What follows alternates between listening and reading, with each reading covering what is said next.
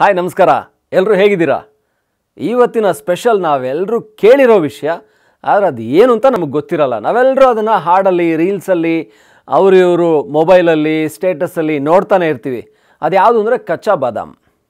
ಈ ಕಚ್ಚಾ ಬಾದಾಮ್ ಎಷ್ಟು ಫೇಮಸ್ ಆಗಿದೆ, ಆದರೆ ಇದರ ಹಿಂದಿರೋ ಕತೆ ಇದೆಯಲ್ಲ ಇಟ್ಸ್ ವೆರಿ ಇಂಟ್ರೆಸ್ಟಿಂಗ್ ನಿಮಗೆ ಅದು ಗೊತ್ತಿಲ್ಲ ಅಂದರೆ, ಇವತ್ತು ಕಚ್ಚಾ ಬಾದಾಮ್ ಸ್ಟೋರಿನ ನಾನು ನಿಮ್ಗೆ ಹೇಳ್ತೀನಿ. ಈ ಹಾಡು ಈ ಒಂದು ಟ್ರೆಂಡಿಂಗ್ ಸಾಂಗ್ ಎಲ್ಲಿ ಹುಟ್ಟಿತು ಏನಾಯಿತು, ಇದು ಯಾಕೆ ಎಲ್ಲರೂ ಇದನ್ನು ಇಷ್ಟೊಂದು ಫಾಲೋ ಮಾಡ್ತಾ ಇದ್ದಾರೆ ವೆರಿ ಇಂಟ್ರೆಸ್ಟಿಂಗ್ ಸ್ಟೋರಿ ಅದನ್ನು ಹೇಳೋಕ್ಕೂ ಮೊದಲು ನೀವು ಕರ್ನಾಟಕ ಟಿ ವಿ ಮತ್ತು ಕರ್ನಾಟಕ ಮೂವೀಸ್ನ ಸಬ್ಸ್ಕ್ರೈಬ್ ಆಗಿಲ್ಲ ಅಂದರೆ ನೀವು ಸಬ್ಸ್ಕ್ರೈಬ್ ಆಗಿ. ಆ ಮೂಲಕ ನಾವು ಇನ್ನಷ್ಟು ಒಳ್ಳೆಯ ವಿಶೇಷತೆಗಳನ್ನ ನಿಮ್ಮ ಮುಂದೆ ತರ್ತಾ ಇರ್ತೀವಿ, ಅದನ್ನು ನೋಡ್ತಾ ಇರ್ಬೋದು. ಈ ಕಚ್ಚಾ ಬಾದಾಮ್, ಇದು ಪಶ್ಚಿಮ ಬಂಗಾಳದಲ್ಲಿ ಹುಟ್ಟಿದಂಥ ಒಂದು ಹಾಡು. ಇದು ಯಾರೋ ದೊಡ್ಡ ಸಿಂಗರ್ ಮಾಡಿದ್ದಲ್ಲ. ಇವತ್ತು ಎಲ್ಲರೂ ಕೂಡ ಇದನ್ನು ಫಾಲೋ ಮಾಡ್ತಾ ಇದ್ದಾರೆ ಇವತ್ತು ನೀವು ರೀಲ್ಸಲ್ಲಿ ಇನ್ಸ್ಟಾಗ್ರಾಮಲ್ಲಿ ಫೇಸ್ಬುಕ್ಕಲ್ಲಿ ಎಲ್ಲಿ ನೋಡಿದರೂ ಕೂಡ ಈ ಕಚ್ಚಾ ಬಾದಾಮ್ ಹವ.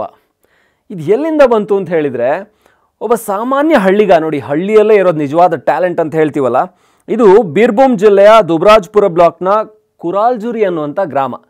ಪಶ್ಚಿಮ ಬಂಗಾಳದಲ್ಲಿರುವಂಥ ಒಂದು ಜಿಲ್ಲೆ, ಅದು ಬೀರ್ಭೂಮ್ ಜಿಲ್ಲೆ.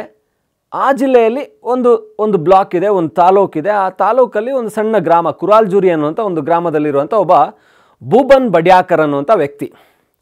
ಆತ ಸಾಮಾನ್ಯ ನೆಲಗ, ನೆಲಗಡಲೆ ಹೇಳ್ತೀವಿ ನಾವು. ಅಂದರೆ ಶೇಂಗಾ ಅಂತ ಹೇಳ್ತಾರೆ, ಕಡಲೆಕಾಯಿ ಅಂತ ಹೇಳ್ತೀವಿ.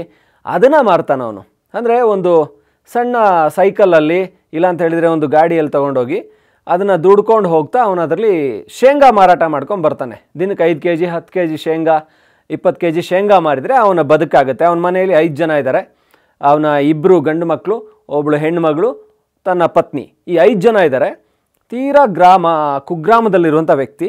ಅವನು ವ್ಯಾಪಾರ ಮಾಡ್ತಾ ಇರಬೇಕಾದ್ರೆ ಏನಾದರೂ ಇಂಟ್ರೆಸ್ಟಿಂಗಾಗಿ ಜನರ ಅಟ್ರ್ಯಾಕ್ಟ್ ಮಾಡಬೇಕು, ಜನರನ್ನ ಅಟ್ರ್ಯಾಕ್ಟ್ ಮಾಡಬೇಕು ಇಂಟ್ರೆಸ್ಟಿಂಗಾಗಿ ಹೇಳಿದರೆ ಜನ ಬರ್ತಾರೆ ಅನ್ನೋ ಕಾರಣಕ್ಕೆ ಈ ಹಾಡನ್ನು ಅವನೇ ಒಂದು ಬೆಂಗಾಲಿ ಶೈಲಿಯಲ್ಲಿ ಒಂದು ಹಾಡನ್ನು ಹಾಡ್ತಾನೆ. ಅದೇ ಈ ಕಚ್ಚಾ ಬಾದಾಮ್. ಈ ಹಾಡನ್ನು ಯಾರೋ ರೆಕಾರ್ಡ್ ಮಾಡ್ತಾರೆ.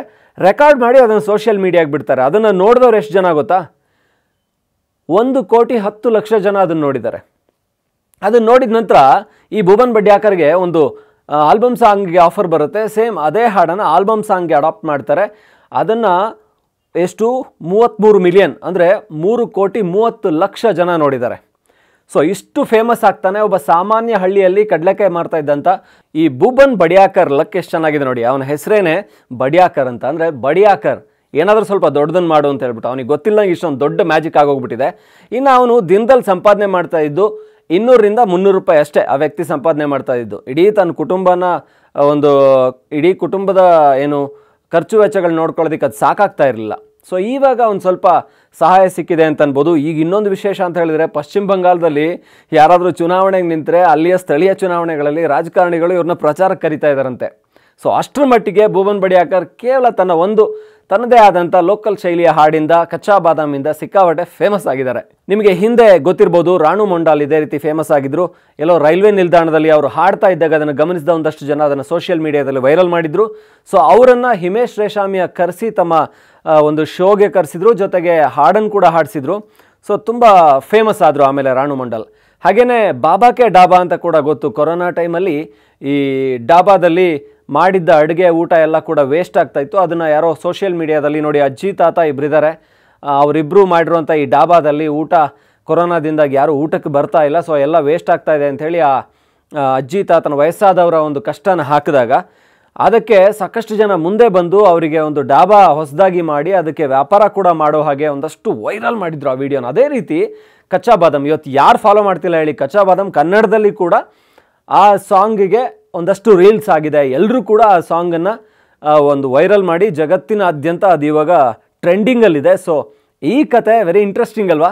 ಯಾರೋ ಒಬ್ಬ ಹಳ್ಳಿಗ ತನ್ನ ಹಳ್ಳಿಯ ಶೈಲಿಯ ಹಾಡನ್ನು ಎಲ್ಲರೂ ಕೂಡ ದೇಶ ಮಾತ್ರ ಅಲ್ಲ, ಜಗತ್ತೇ ಗಮನಿಸುವಾಗ ಮಾಡಿದ್ದು.